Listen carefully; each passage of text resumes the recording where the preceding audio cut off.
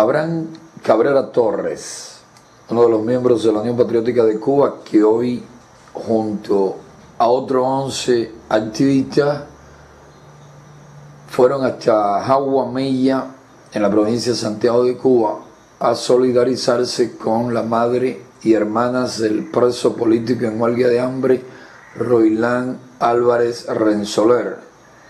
Ahora, en síntesis, ¿qué fue lo que ocurrió cuando ustedes llegaron allá? ¿Quiénes le apedrearon?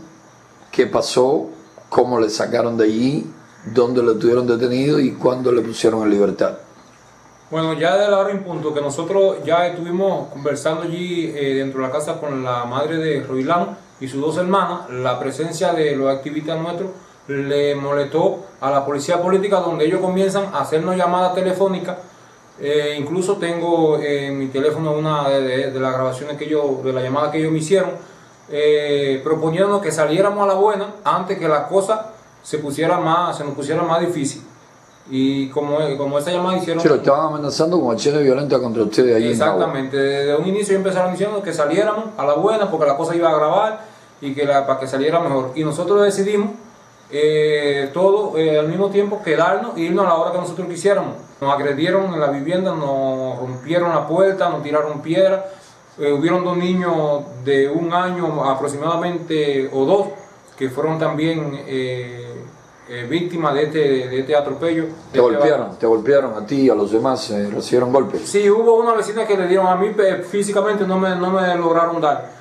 Pero sí hubo una vecina allí que estaba simpatizando con nosotros que recibió, eh, cuando la, empezaron a tirarnos piedras para dentro de la casa, le dieron una pedrada y le partieron la, la frente. A la esposa de, de, Agustín también le dieron por tal de cuidar al niño de que no le dieran golpes porque le dieron, tiraron palo y tubo para darle al niño a quien lo tuviera cargado en el camino agua de Mella hacia abajo, hacia Agua, habían aproximadamente como, como 12 policías.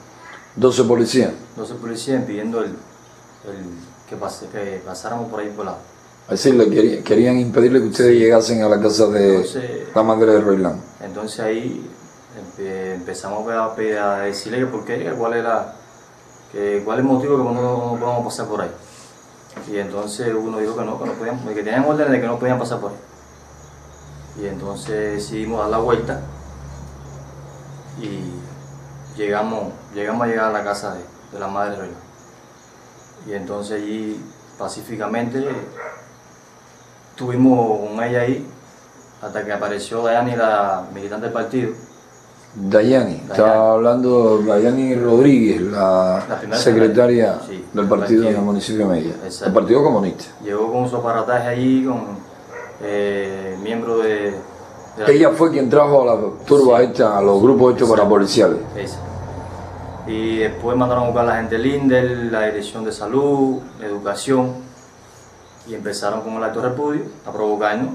Nosotros mantuvimos la, la compostura de mantener todo en en Santa Calma, que nosotros no fuimos allá a provocar a nadie.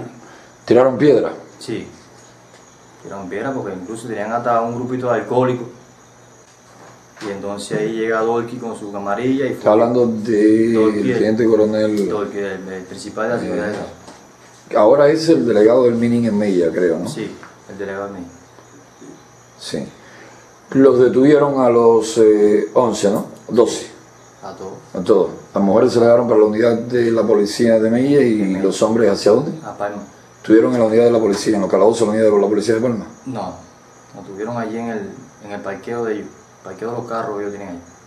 Eh, nos han hablado de que golpearon hasta niños y de que habían hasta amenazas de matar a esos infantes. ¿Qué pasó con eso?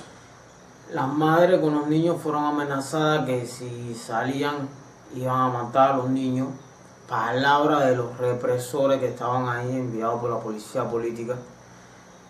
Eh, en verdad lo demostraron porque antes de entrar tiraron con un tubo, le dieron a un niño, no miraron para atrás ni para adelante, gracias a la madre que lo tapó, si no, nadie sabe lo que hubiera pasado con ese niño.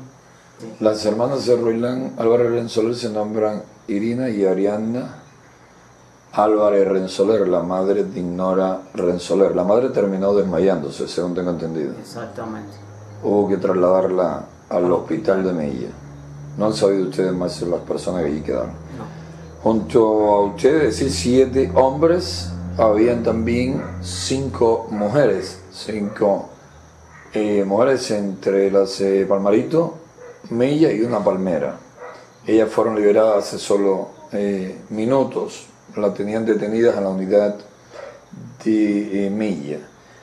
Es decir, han sido en los últimos eh, tres días más de 25 detenciones de activistas de la Unión Patriótica de Cuba entre Santiago de Cuba, Palmarito de Cauto, Antillas, Banes, Holguín y Bayamo. El número de detenciones arbitrarias contra pacíficos defensores de los derechos humanos continúa creciendo. Por supuesto, ni las detenciones arbitrarias, ni las agresiones físicas, ni las amenazas de muerte, ni los intentos de asesinato, ni la prisión, ni las torturas paralizan a quienes nos hemos comprometido con esta justa y necesaria causa, la causa de la libertad, la democracia y el bienestar de todos los cubanos.